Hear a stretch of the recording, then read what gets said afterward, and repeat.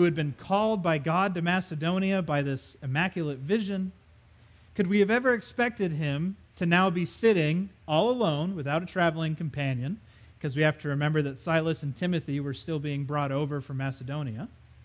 Could we have ever expected to find him now sitting alone out of Macedonia in Greece, sitting in Corinth by himself? When we encountered that vision, didn't seem to all of us like the literature was setting us up for this heroic story of church planting. Because remember, he gets this vision of this Macedonian man begging for help, and he follows it immediately. And then all he faces in Macedonia is persecution.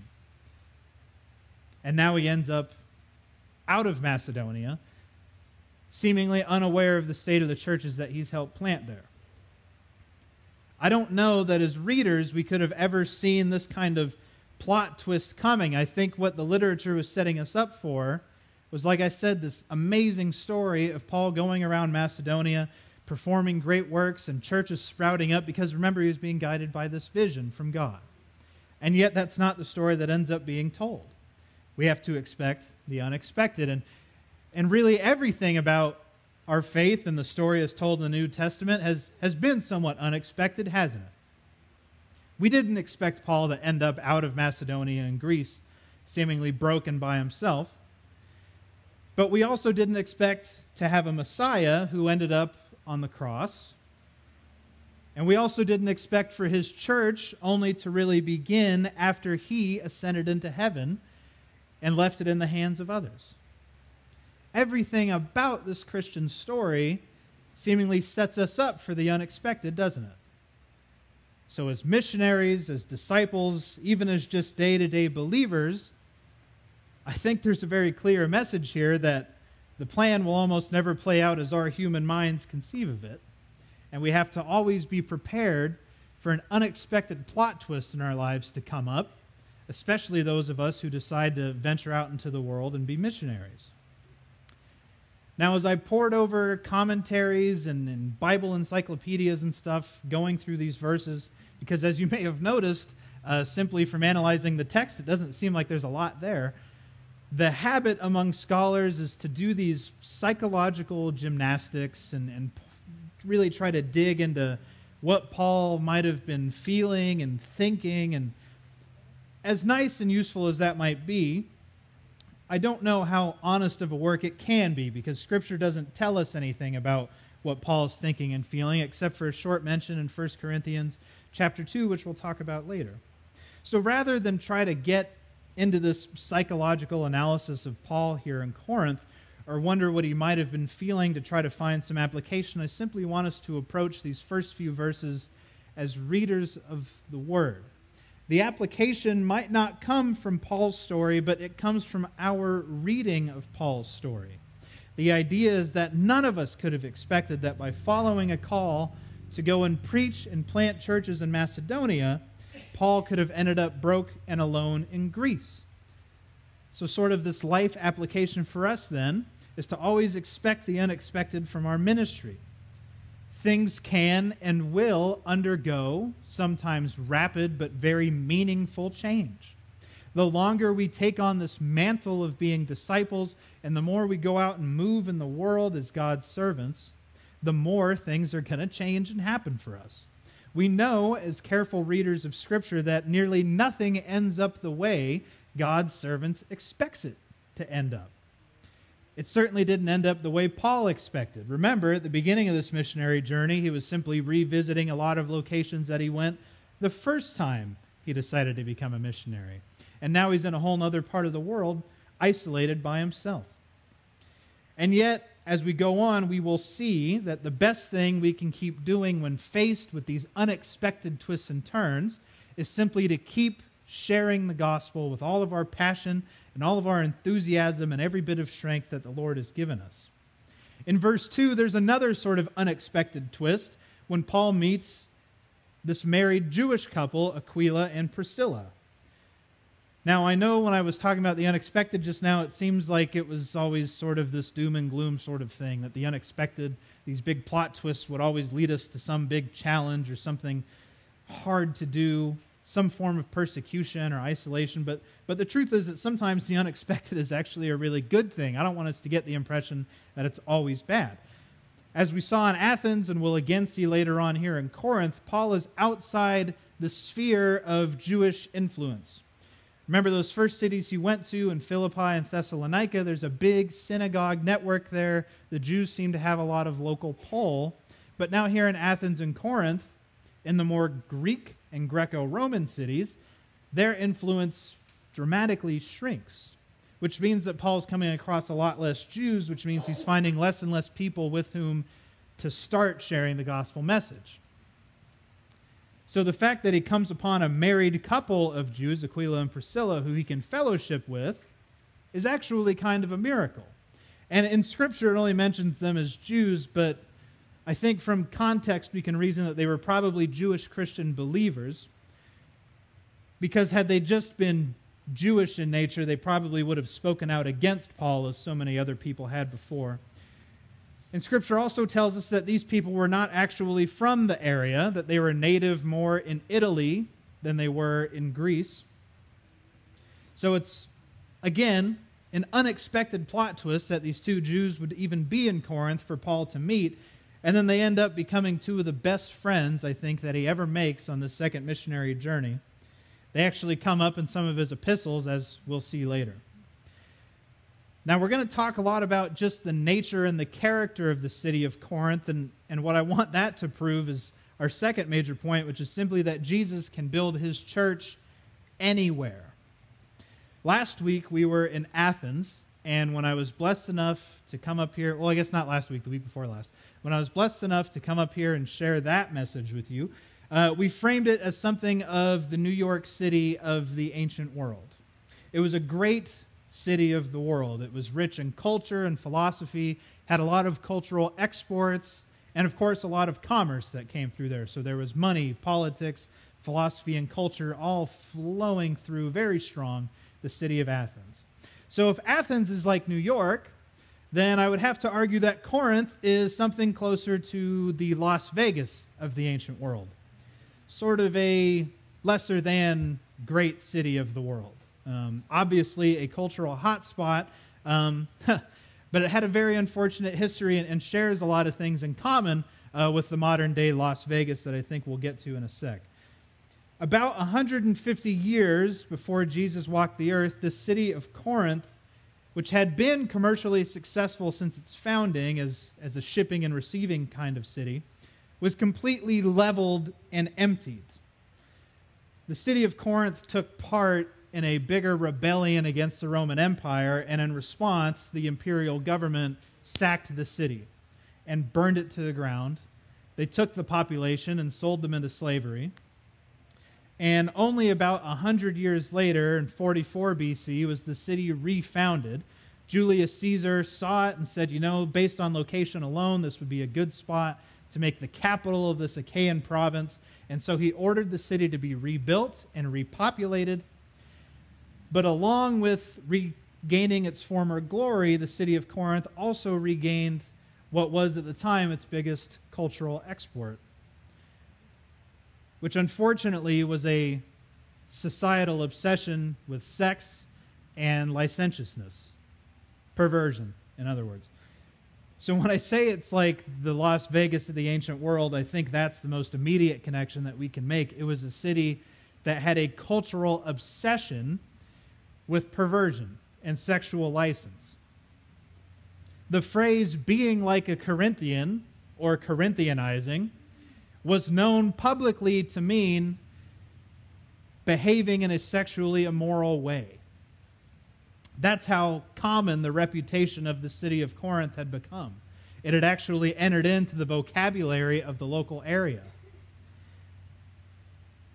The city's most prominent altar to an idol was actually built to worship the Greek goddess Aphrodite, who was the goddess of love, beauty, pleasure, and reproduction.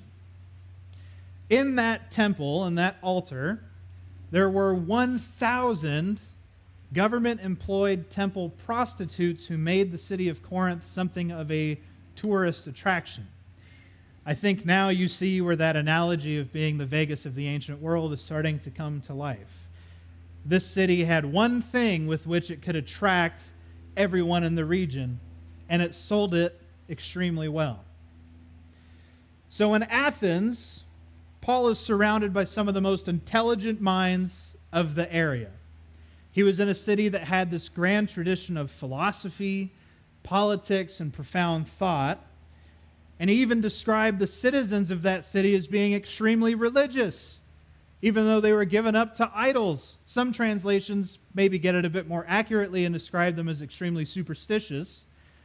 But we get the picture of the people in Athens being completely sold out to this faux spiritual life as they worshiped idols. But now he comes to Corinth, a city with really no sense of tradition since its history had to be completely restarted. But it's completely filled with sexual immorality. So in Athens, where everyone has sold themselves out to idolatry, in Corinth, everyone has sold themselves out to the most savage and animalistic of desires. Which of the two cities, as a reader of the word, would you assume the church can actually find its roots in? The one with a lot of very smart people who have a lot of intellectual openness, who are welcoming to new ideas? Or the one that's filled with prostitutes and men and women who would rent the services of prostitutes? Which one sounds like the more likely candidate to receive a church and actually support it? A or B? I'd say with our modern minds, A is probably the best choice. A lot of very smart people to carry forth the word, have this tradition of listening and hearing to new ideas. And yet, in another unexpected twist, Corinth becomes the city where a very passionate church sprouts up. It ends up having its own problems, of course. Paul had to write letters to them twice to keep them on the right path. But at least they supported the idea, and this very fruitful church began there. Since arriving in Achaia, Paul's preaching has had to contend with these very powerful cultural sins. In Athens, it was idolatry. In Corinth, its licentiousness turned into perversion. It doesn't sound like the kind of place that we would expect to go to build a church, does it?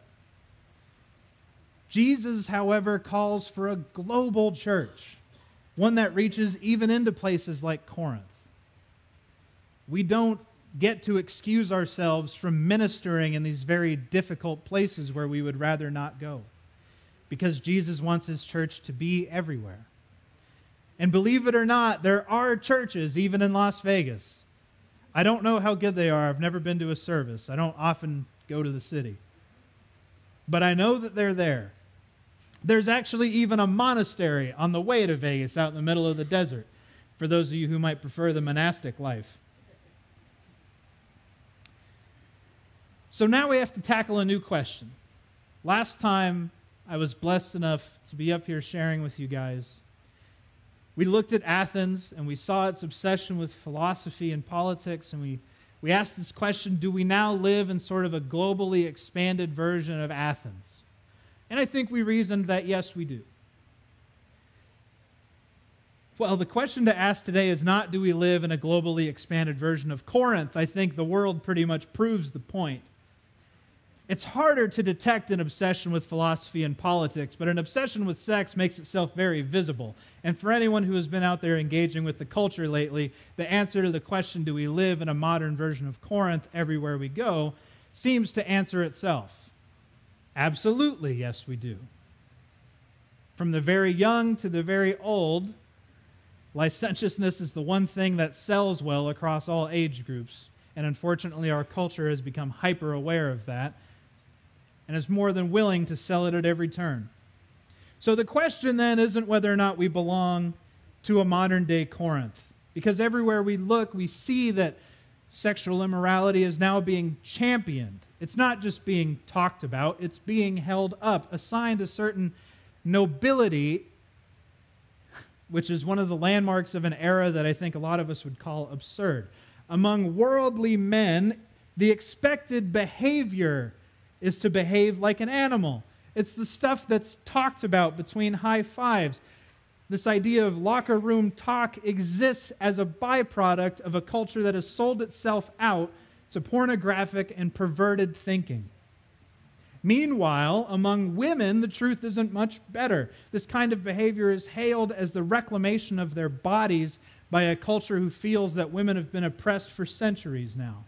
So the question is not whether we live in a modern day Corinth, it's how are we going to help Jesus build his church in this modern day Corinth?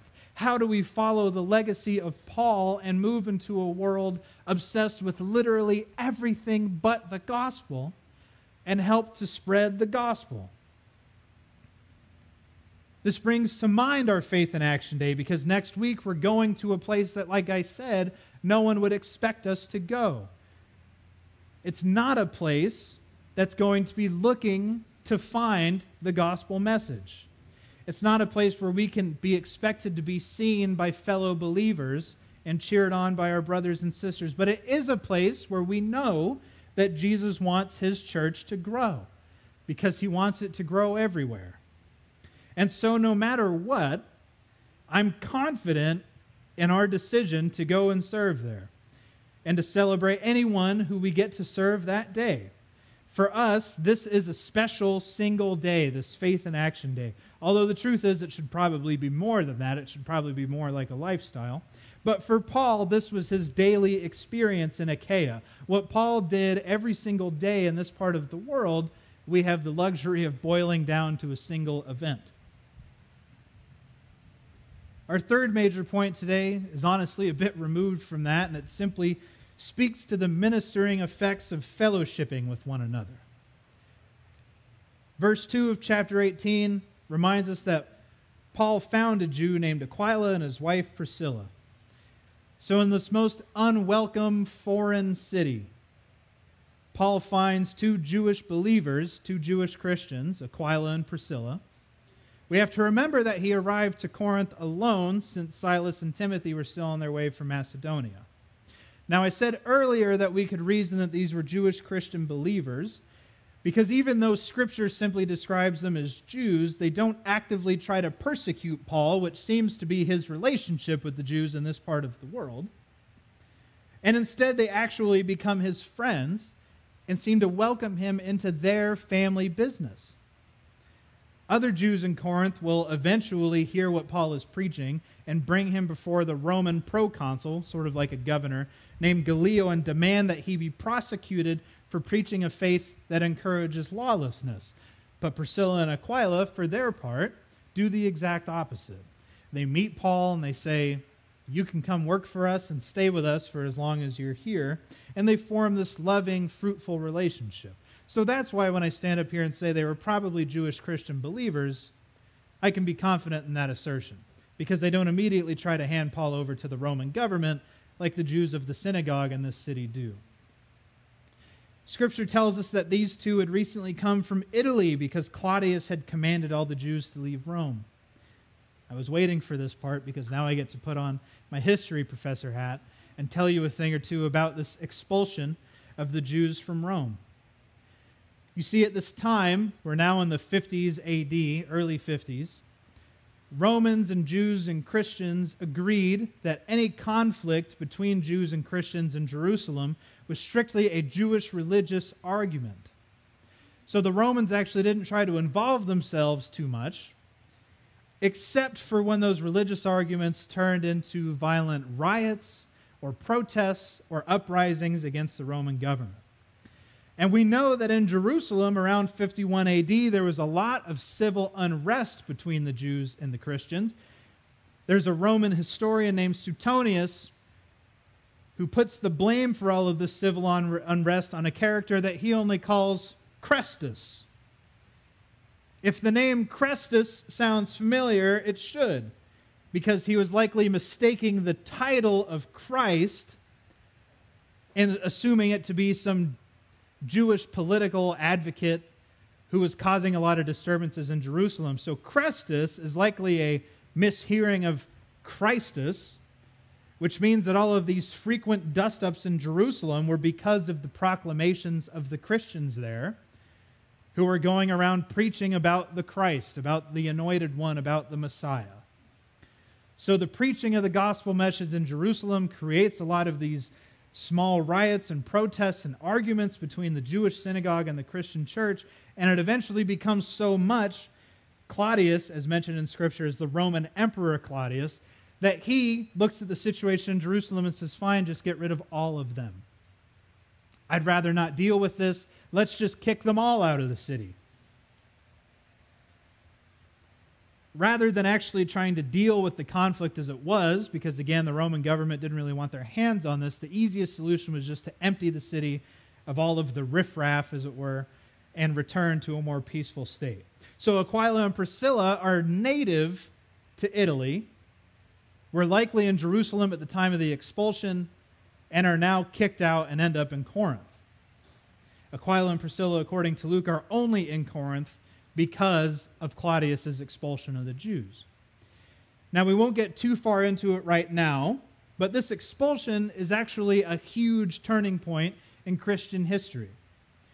It marked the end of the systematic oppression of Christians by Jews, which had been the story throughout most of this New Testament narrative, right?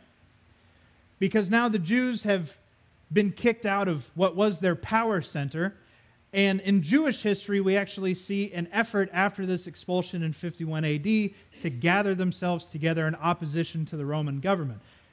Rome will actually go on to level the city of Jerusalem because the Jews actively rebel against the government. But that part's neither here nor there.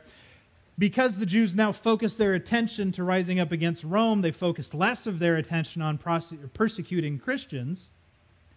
And Christians, for their part, because they've been lumped in by the Roman government with the Jews, are motivated to start making a more visible and audible separation of their faith from the Jewish faith. Because at the time, the Roman government actually didn't differentiate between the two. They saw the Jews as Jews, and they saw the Christians as sort of Jewish plus. They didn't make a cultural differentiation between one faith and another. So Christians now, motivated by the expulsion, begin to cultivate some of their own church practices and bring the Christian message more to the forefront. And we see a shift from Jewish Christianity to more of Christianity as we know it in this era, sort of a more Gentile Christianity, because the church is now trying to noticeably distance itself and establish its own identity separate from Judaism. Now, that becomes extremely important because by making themselves visibly separable from the Jews, the Roman government can point to Christians and say, well, we hate them too. Just a few years after this persecution in 51 AD, Emperor Nero ascends to the Roman throne and begins outright murdering Christians by the hundreds and the thousands. I'll spare you from the horror stories about what Nero did to our brothers and sisters in that age, um, but I will try to actually someday develop an entire series of messages about persecution in the early church. Maybe sometime in like 2030 when we're out of Acts and the new building is up. So we see that this expulsion is included in here, one, to provide some historical context and explain why Aquila and Priscilla were in Corinth, but for us, it's a marker, a huge marker of an event in Christian history. In some of the biblical studies classes I've been privileged enough to take, a lot of people argue that the Bible is not written as a history book or can't be read as a history book. But when you come to passages like this, I just don't know that that argument is justifiable. Granted, Paul didn't date and name and, and give the exact location where the account of Acts was written, but we have events like these that serve as sort of mile markers for where in history all this is happening. Verse 3 And because they're of the same trade, he stayed with them and worked. Remember, the major point here was about fellowship. All that history stuff was just sort of my privilege to talk to you. And because they were the same trade, he stayed and worked, for they were tent makers by trade. Now, Acts 18.11 tells us that Paul stays in Corinth for a year and six months. So this wasn't a short trip. During that time, Paul stays with Aquila and Priscilla and they go on to become two of the dearest friends that he makes in the entire world. They welcome him into their business, and he takes up his former career as a tent maker, which was not a metaphor or a euphemism for anything. He literally worked with leather and made tents fitting in with the line of business of these two. So, in a place so foreign to Paul, in a region that had so far mostly rejected him, Paul is finally able to find two more people who he can fellowship with, and he gets to stay with these two believers for a year and a half on his missionary trip. Now, like I said, it's not really worth it to try to dig into Paul's psychology when he arrives at Corinth, but he does give one mention of it in 1 Corinthians chapter 2 verse 3. He says, "And I was with you in weakness and in fear and in much trembling." And that's him talking about his arrival to Corinth. So, since he's revealed about himself that he arrived in this weak, fearful sort of state, I think it's fair to assume that Priscilla and Aquila, Aquila were a welcome source of respite and rest from Paul's uneasiness about being there. The church actually once approached Corey and me about managing this new sort of greeting program where, where we would stay at the front of the church and we would greet new visitors and We'd get whatever information about them we could, you know, what they did for a living, where they lived, how many kids they have. And we would then use our knowledge of everyone else in the church to sort of pair them up. We can see from this story that that's an extremely effective strategy for building relationships. Paul and these two Jewish Christians bond over a common trade. He works for them and they welcome him into their homes. That was the ethic behind that program. Obviously, it didn't really work out, as you may have noticed Corey and I no longer hover around the front of the church and try to pull new people in. But the ethic behind it was the same kind of thing we're seeing here getting Christians to bond with one another over at least one common thread, over a common interest or a common trade, a job, a family situation. And we see that this sort of early bonding establishes very fruitful Christian relationships that go on to accomplish incredible things. This wasn't just a strategy to get people to come into the church. This was a strategy to get people to start forming relationships with one another, to empower them even greater as disciples in the world, to accomplish incredible things. Paul leverages this relationship with Priscilla and Aquila to build an entire church. Priscilla and Aquila opened their home to that early church. Paul goes on to tell us in Romans that they were actually the hosts of the church in Corinth that it happened in their house. Those are the kind of relationships that we want to see budding here. So when I stand up here and I yammer on about life groups, it's not some invention that we came up with that we want everyone to be involved in. It's a very effective ministry tool as told to us throughout the entire Acts narrative. Life groups are purposefully organized to foster these kinds of relationships so that we might have our own version of a Corinthian church although hopefully one that's a bit more disciplined than they were, because I will not be writing any epistles in my ministry career. Which brings us to our last point today simply the observance that, that we had a church born in Sin City. 18.4 tells us how Paul did it. He went into the synagogue and he reasoned every Sabbath and he tried to persuade the Jews and Greeks. There's an interesting sort of shift in language here because throughout earlier chapters in Acts, it doesn't tell us that Paul tried to persuade anybody. He just did it. He persuaded and he dialogued and he talked. And now all of a sudden, he tries to persuade them. There is no try, there's either do or not do. As he had done in every city previous, Paul follows his pattern of going into the synagogue, the home of perhaps the only people who could relate to teachings about Yahweh and the Messiah and he makes his best case for the gospel there.